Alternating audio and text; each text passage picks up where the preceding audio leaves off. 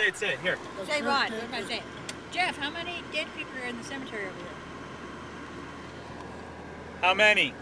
All but the caretaker. All of them.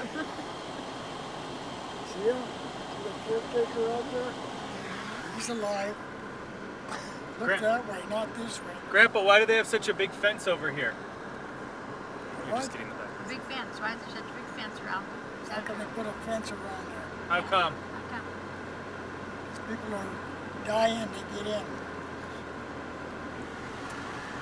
That's a good one.